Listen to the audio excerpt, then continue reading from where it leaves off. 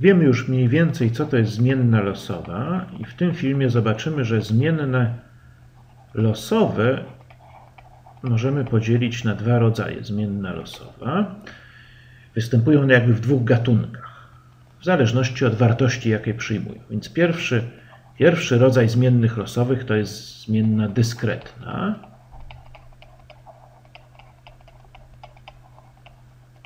No, przy czym y, słowo dyskretny w języku polskim ma takie znaczenie również nieplotkujący, mm, dotrzymujący tajemnicy, no, niewścibski. No więc oczywiście nie chodzi tu zupełnie o tego rodzaju znaczenie.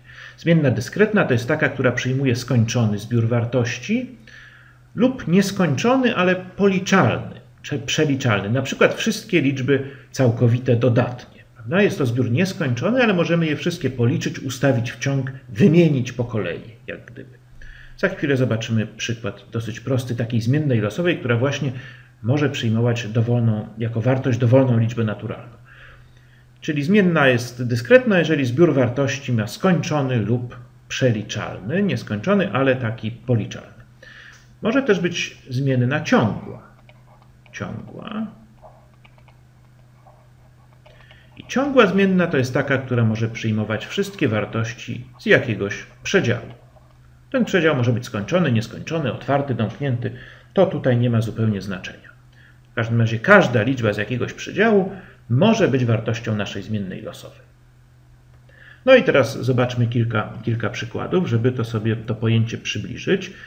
Dyskretna. No najprostszym przykładem zmiennej losowej oraz dyskretnej jest zmienna o skończonym zbiorze wartości, czyli na przykład taka zmienna, jak spotkaliśmy w jednym z poprzednich filmów, czyli rzucamy sobie monetą i nasza zmienna losowa to jest 1, jeżeli orzeł. No i powiedzmy minus 1, jeżeli reszka.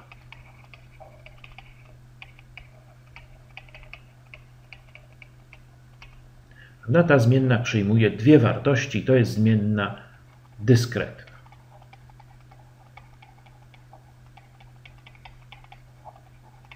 Przy czym no, te wartości nie muszą być całkowite. Prawda? Jeżeli na przykład zmienię ją tak, że będzie jedna druga, jeżeli orzeł i minus jedna trzydziesta pierwsza, jeżeli reszka, no to nadal to jest zmienna dyskretna, bo zbiór wartości jest skończony. Może przyjmować tylko skończoną liczbę różnych wartości. Z kolei, jeżeli pomyślimy o zmiennej y, która jest zdefiniowana jako dokładna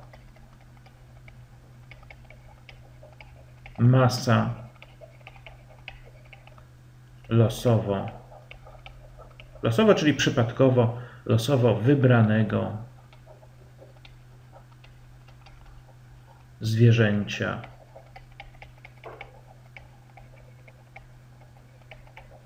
w warszawskim zoo. Warszawskim zoo. No, w kilogramach powiedzmy, że tę masę mierzymy. No właśnie, to jaka, czy to jest zmienna dyskretna, czy ciągła? No, kluczem jest tutaj słowo dokładna.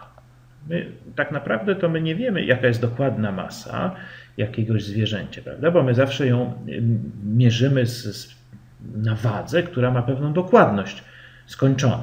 Czyli możemy tylko po pewnym zaokrągleniu znamy tę masę. Więc jeżeli piszemy tutaj dokładna, to wydaje się, że sensownie jest przyjęcie, że ta dokładna masa może być dowolną liczbą no z jakiegoś przedziału. No jak to, jak, no dolna granica to jest, to jest pewnie zero.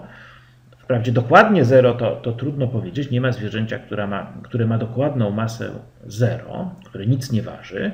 No ale trudno też tutaj precyzyjne ograniczenie podać, dlatego że nie wiem, są takie zwierzęcia jak pająki w tym zoo, czy, czy może komary, nie wiem, czy są komary, pluskwy, prawda, więc one ważą naprawdę bardzo mało. No gdzieś zero wydaje się rozsądną granicą. No górna granica, pewnie największe zwierzę to jest słoń, no nie wiem ile waży słoń, powiedzmy, że 6000 kg, tak, to już jest chyba, nie ma, nie ma większych słoni niż, niż 6000 kg. No i wydaje się, że, że rozsądne jest przyjąć, że jeżeli chodzi nam o dokładną masę, no to ta dokładna masa może być tutaj dowolną liczbą w tym, w tym zakresie. No, można by tutaj się spierać, że właściwie cóż to znaczy, że, że, że zwierzę, czy można w ogóle stwierdzić, że zwierzę waży na przykład 312 pi kilogramów, tak?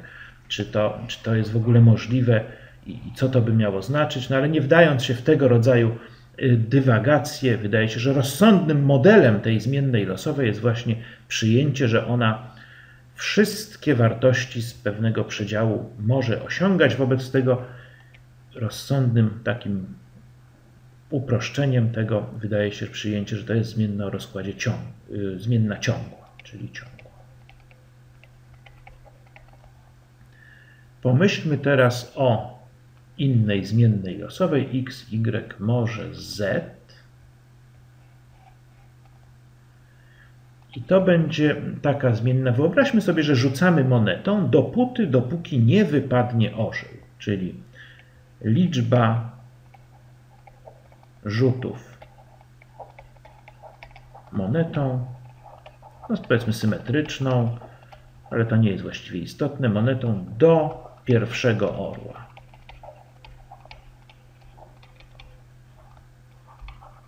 Czyli taki eksperyment. No więc jak jest, jakie wartości ta zmienna losowa może przyjąć? No, może być tak, że za pierwszym razem wypadnie orzeł. No to przerywamy, to mieliśmy jeden rzut. No może być tak, że za pierwszym razem, że za drugim razem wypadnie orzeł, za trzecim razem wypadnie orzeł dopiero za czwartym. No i właściwie nie mamy tutaj, y, nie mamy tutaj żadnego ograniczenia górnego, prawda? Nie możemy powiedzieć, nie jesteśmy pewni, prawda, że jak będziemy rzucać 100 tysięcy razy monetą, to na pewno wypadnie orzeł. Prawda? Nie, ma, nie ma takiej pewności. Oczywiście prawdopodobieństwo tego, że w 100 tysiącach e, rzutów monetą nie będzie żadnego orła, jest, jest bardzo małe, tym niemniej nie jest zero. I wobec tego ta zmienna może przyjmować wszystkie wartości naturalne, czyli to są liczby całkowite dodatnie, czyli zbiór wartości możliwych jest nieskończony, ale właśnie przeliczalny. My je tutaj możemy wszystkie potencjalnie przynajmniej wymienić. Nie jest to możliwe no, ze względów, których nie ma tutaj miejsca w tym filmie, żeby opowiadać. W każdym razie nie jest to możliwe w przypadku wszystkich liczb z jakiegoś przedziału. Nie można nawet w zasadzie ich tutaj ustawić w. Czyli ta zmienna jest zmienną dyskretną. Dyskretna, choć zbiór jej możliwych wartości jest nieskończony. No i teraz jeszcze jeden przykład może. T. T to będzie zmienna, która jest określona jako dokładny czas zwycięzcy biegu na 100 metrów na najbliższej olimpiadzie.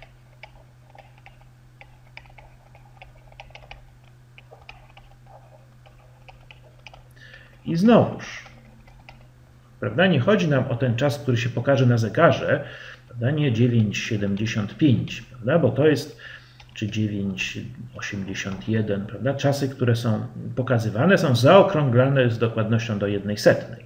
Chodzi nam o dokładny czas. I podobnie jak z tą masą, wydaje się, że, że rozsądnie jest przyjąć, że ten dokładny czas to są no, w sekundach, powiedzmy, w sekundach, to jest dowol, może być dowolną liczbą no, w jakimś tam przedziale, pewnie dosyć rozsądnie jest przyjąć, że pewnie zwycięzca nie będzie miał więcej niż 11 sekund, a z drugiej strony no, dolne ograniczenie w zasadzie mm, to jest prędkość światła, no ale też chyba możemy przypuścić, że, że 8 sekund, nikt szybciej nie pobiegnie niż 8 sekund, ale każda znowuż liczba pomiędzy 8 i 11 w zasadzie jest dopuszczalna. Czyli znowuż jest to zmienna ciągła. No tutaj można mieć też zastrzeżenia tego rodzaju, jak, jak w przypadku wagi, no, że, że na przykład co to by znaczyło, że zwycięzca osiągnął czas 3 pi sekund. Czy coś takiego w ogóle ma sens, czy nie? Czy czas mm, rzeczywiście jest, jest dowolną liczbą rzeczywistą? Czy... No ale pomińmy tego rodzaju dywagacje. Rozsądnym wydaje się przyjęcie, że, że dobrym modelem takiej zmiennej jest, są wszystkie liczby rzeczywiste z jakiegoś przedziału.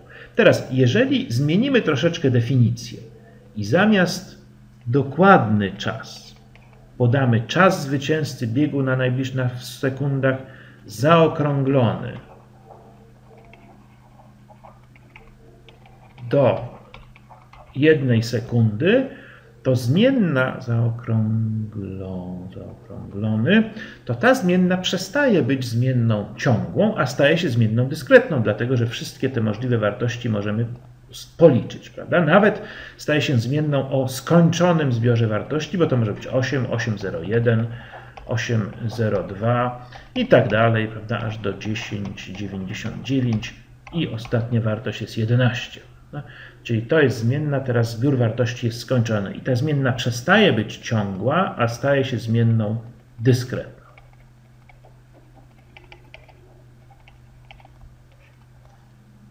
No dobrze, i mam nadzieję, że w ten sposób trochę przybliżyłem Wam pojęcie dyskretnej i ciągłej zmiennej losowej.